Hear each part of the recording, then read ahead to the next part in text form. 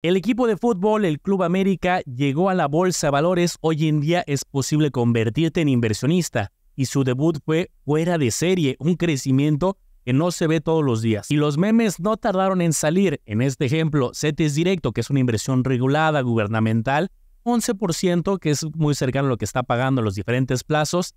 Y el América en solo un día, aquí ponen más 188% porque en su debut tuvo fluctuación, pero hubo momentos donde hubo un crecimiento de más del 100%. Pero hay muchas preguntas que seguramente te están surgiendo. ¿Cómo se puede invertir? ¿Cuáles son los riesgos? ¿Cuáles son las implicaciones? ¿Este crecimiento es sostenible? ¿Qué es lo que puede pasar a futuro? Y a ver, yo no soy especialista en materia de fútbol y de equipos, pero sí llevo muchos años dedicándome a la industria financiera, más de 14 años trabajando en esta industria en diferentes puestos y esta se convirtió en una inversión pública, que como ya te mencionaba, todos podemos tener acceso. Entonces vamos a revisar de qué va su prospecto, cómo funciona, cómo se puede invertir. E insisto, lo haré desde una perspectiva meramente financiera porque, insisto, no soy especialista en el fútbol mexicano. Es más, les pediré a toda la Lago Familia que me ayuden y me digan cuáles de los equipos que ahorita están mejor rankeados en el fútbol mexicano, que me lo digan en los comentarios, para yo también aprender del tema.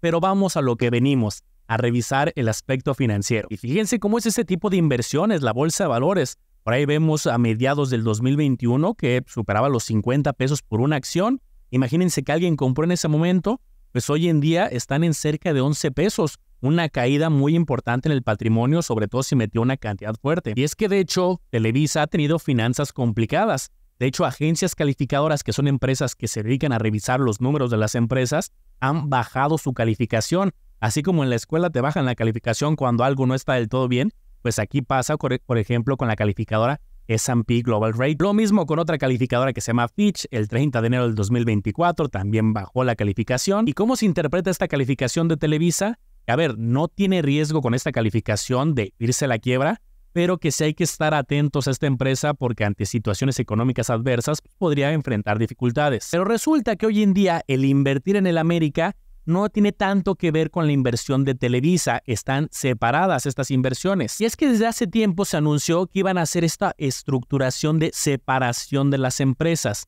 Y aquí lo vemos en un comunicado oficial, que se autorizó la inscripción al Registro Nacional de Valores, es decir, esta es una inversión regulada, invertir justamente en el equipo del América, que ahorita lo vamos a ver con más detalle.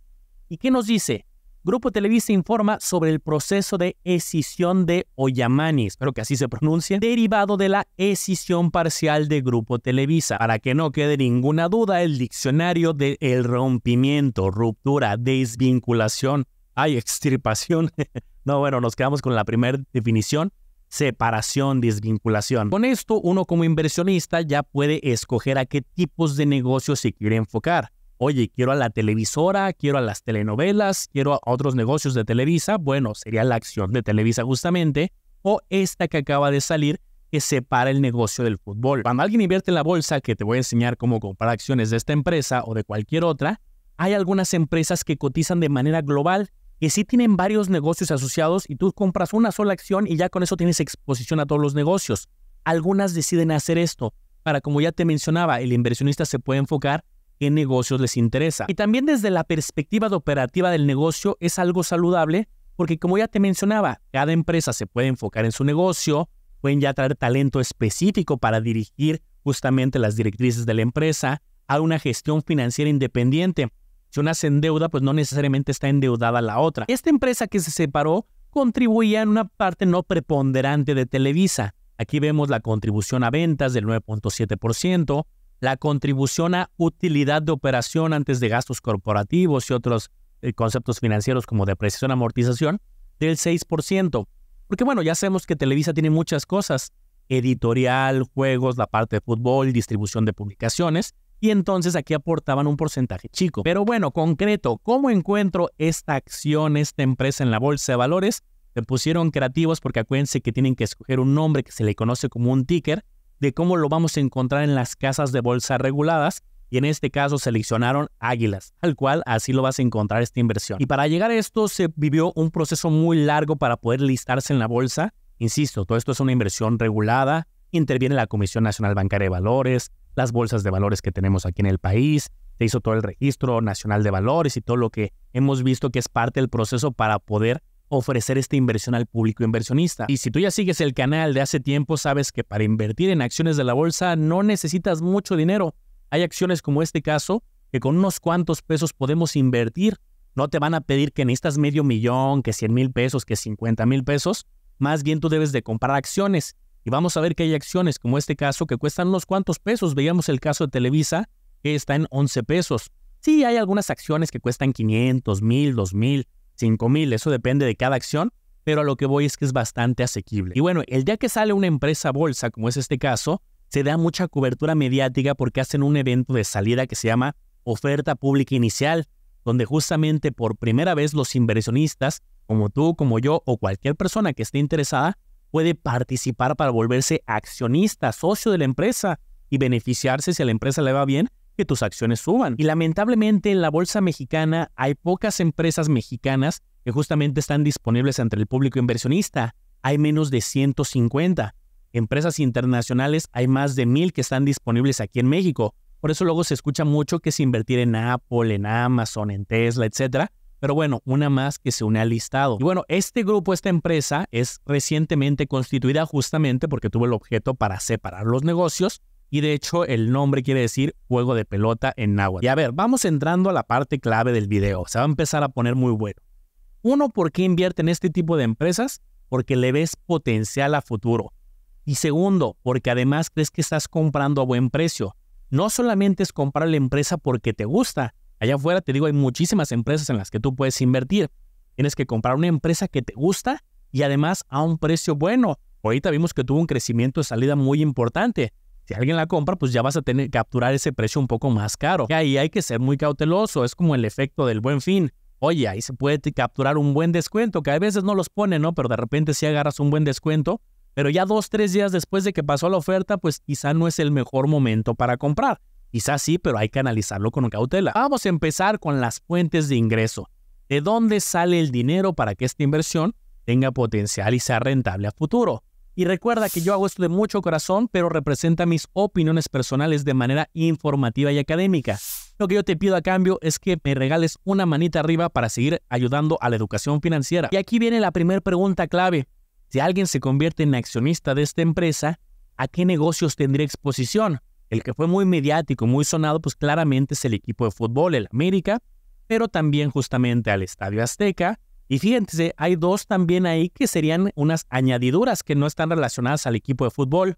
Vanidades TV y novelas caras y Play City. Así como cuando alguien analiza un equipo de fútbol que le interesa que tenga un buen cuerpo directivo, el director técnico, el preparador físico y todo el cuerpo justamente directivo, también aquí hay consejos de administración que uno debe como inversionista echarle un ojo a los nombres y saber cuál es su experiencia, cuáles están relacionados internos a la empresa, que pues ahí vemos varios nombres, pero también invitan a directivos externos para que emitan su opinión. Y bueno, aquí tenemos justamente algunos nombres y algunas otras empresas separadas. Y a ver, una de las preguntas fundamentales antes de invertir en cualquier acción de cualquier empresa es, a ver, ¿de dónde sale el dinero? ¿Cómo es un negocio rentable? ¿De dónde llegan las ventas? Luego va a haber gastos para llegar a la utilidad.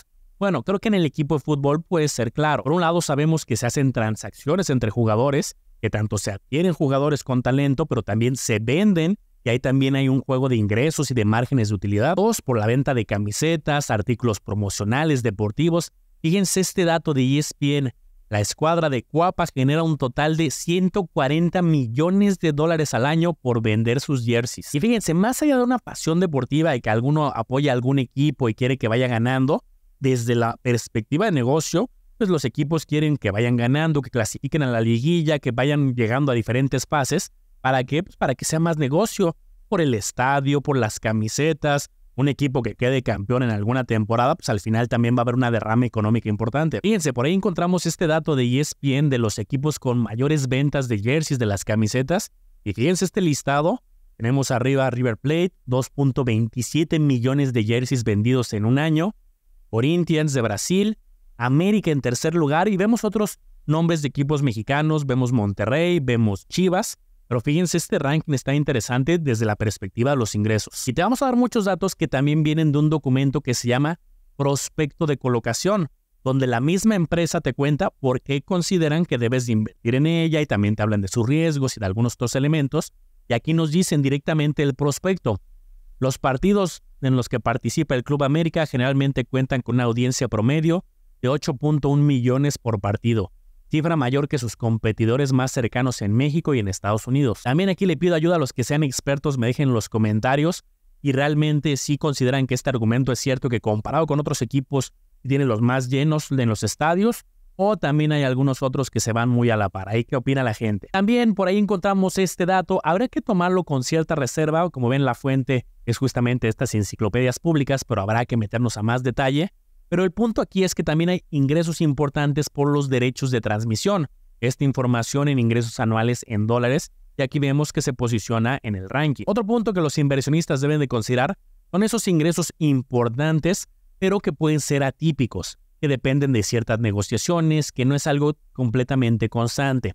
Por ejemplo, el ingreso por patrocinios, porque vean esta información, la cantidad que se maneja en este tipo de patrocinios, estamos hablando de varios millones de pesos dependiendo del patrocinador. vean lo bonito que es separar la perspectiva de cada quien del apoyo a algún equipo con la perspectiva de inversionista. Por ejemplo, yo hasta apenas me estoy enterando de datos como este. Miren, yo no tenía idea cuánto costaba aparecer en una camiseta de fútbol. Ven que tienen justamente los patrocinadores.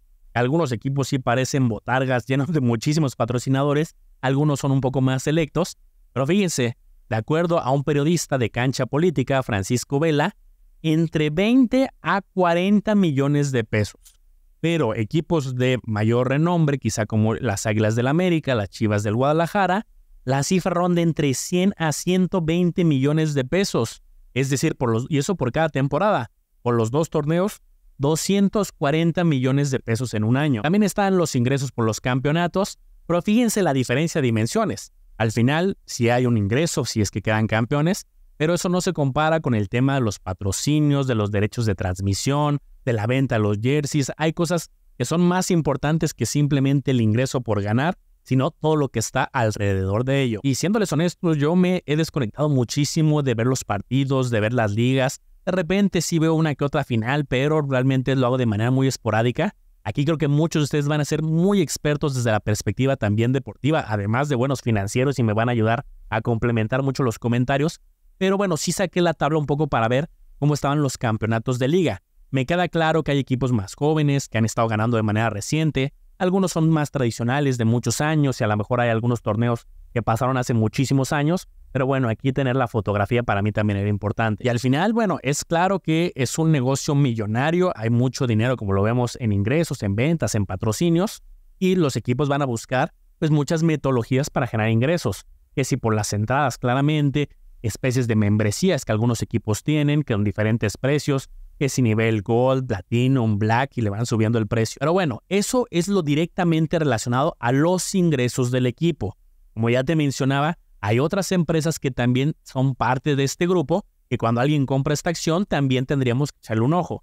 Uno que llamaría mucho la atención, claro está, es el estadio. Y aquí también va sumando en los ingresos. De acuerdo al prospecto de colocación que les mencionaba, en este periodo que no es un año completo, pero con eso podemos hacer alguna estimación, 88 millones de pesos de enero a septiembre del 2023 por el concepto de alimentos y bebidas. Otro importante por publicidad. Yo pensé que este iba a superar el de alimentos. Yo pensé que la publicidad de justamente todas las vallas que las vemos repletas iba a ser de los principales. Bueno, es importante, pero no el primero. 43 millones de pesos para ese mismo periodo. También, claro, está los eventos de entretenimiento, que ya separando el tema de fútbol, que bueno, aquí algunos de los artistas o los eventos históricos, Aquí, por ejemplo, me tocó a mí ir al de YouTube y también al de Shakira. ¿A ti cuál te ha tocado ir? Y con información del prospecto, los ingresos del estadio principalmente se distribuyen de la siguiente manera. Principalmente las entradas, fíjense la importancia de la renta de los palcos y también desde el lado de la publicidad. Claramente las entradas iba a ser algo preponderante. Que también viene el tema del Mundial para el 2026, que ya sabemos que el Estadio Azteca está confirmado como sede del partido inaugural.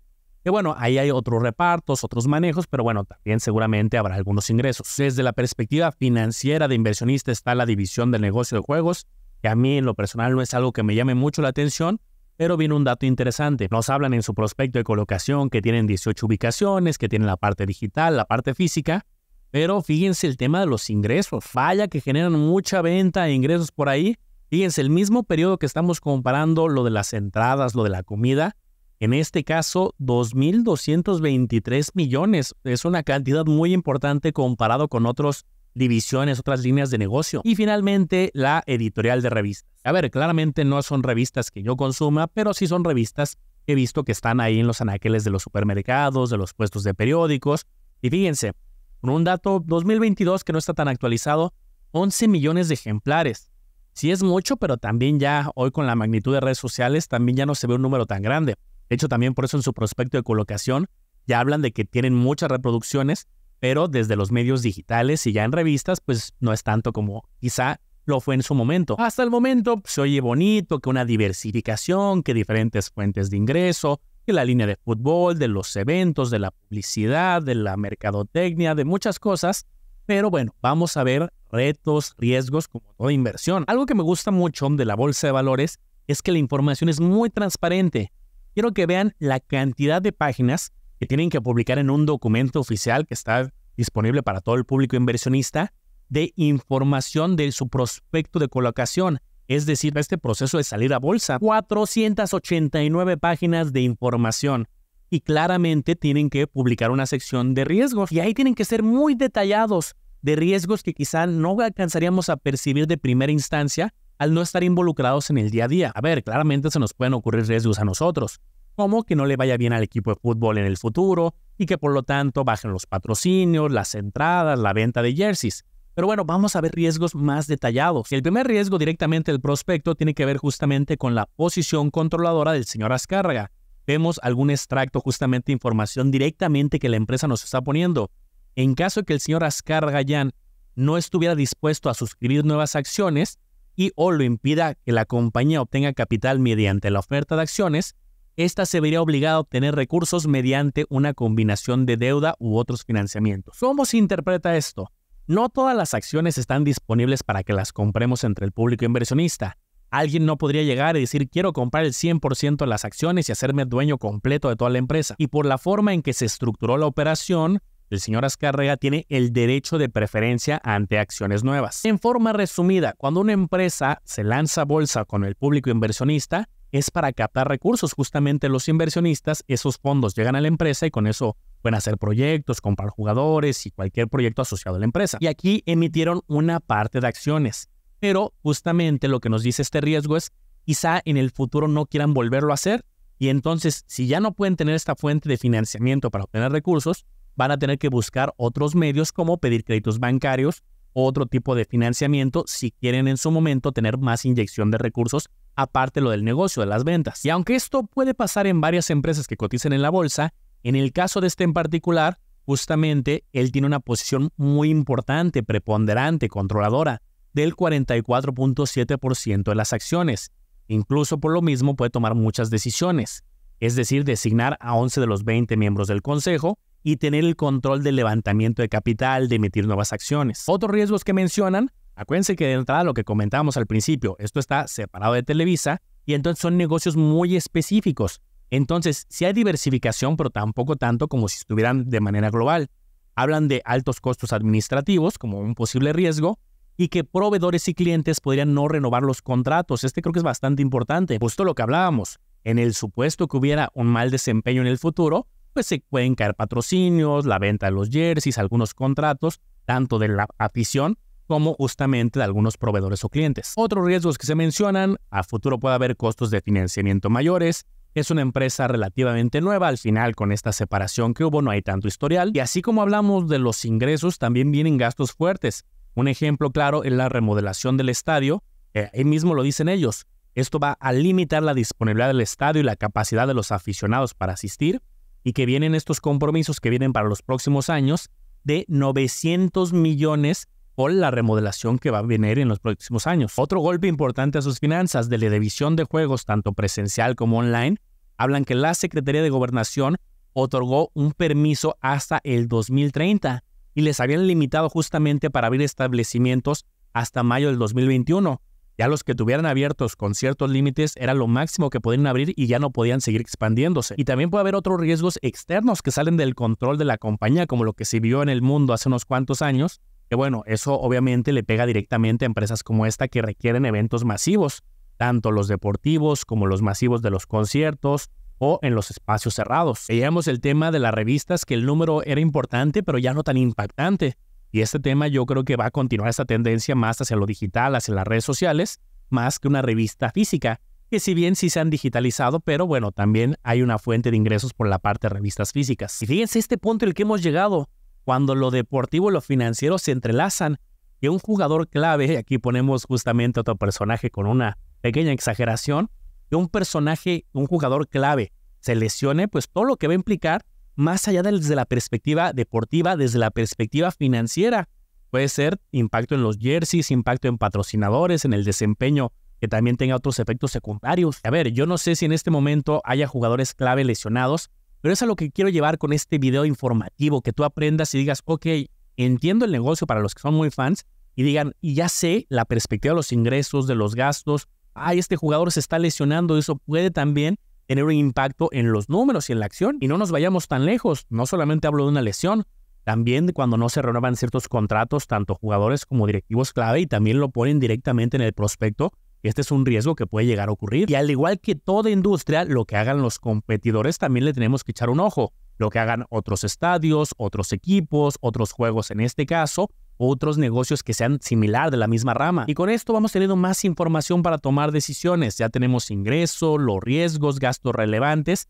Y fíjense nada más cuánto costó salir a la bolsa de valores. No es nada barato. Pero bueno, ya hoy en día ya está disponible, ya podemos comprar acciones de esta empresa y ya sabemos cómo le fue en su debut, en su primer día. Aquí les dejo un pantallazo directo de la casa de bolsa que yo utilizo.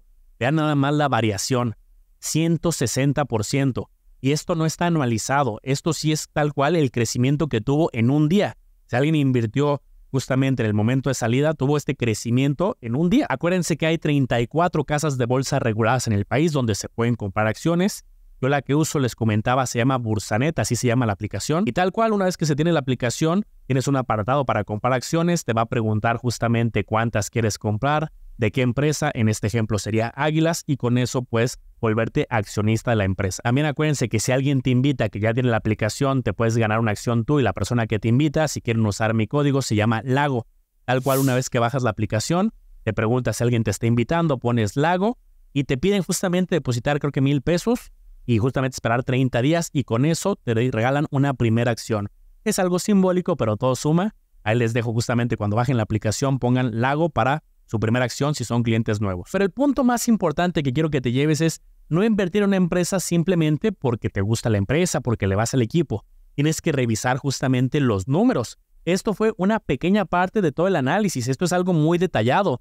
Te puedes meter a revisar a más detalle los estados financieros, que eso lo hemos hecho en otros videos. Y con gusto, si este video llega a mil likes, hago otros tutoriales de cómo revisar los estados financieros, porque falta revisar su estado de resultados, su balance general, su flujo de efectivo, sus razones financieras. Pero bueno, poco a poco juntos en este canal de manera educativa vas a aprender cómo funciona el mundo de inversiones, de la bolsa, del análisis fundamental y otros elementos de finanzas personales. Regálame tu manita arriba para que rompamos esa barrera de los mil y vamos por más videos que como este que fue un poquito más intermedio avanzado. Déjame tus comentarios, tus dudas, tus observaciones. Esto fue una pequeña partecita de mucho análisis que se tiene que hacer y vendrán más videos un poco más especializados. Espero te haya gustado este review informativo. Recuerda analizar y comparar muy bien porque tú serás el único responsable de tomar una decisión bien fundamentada.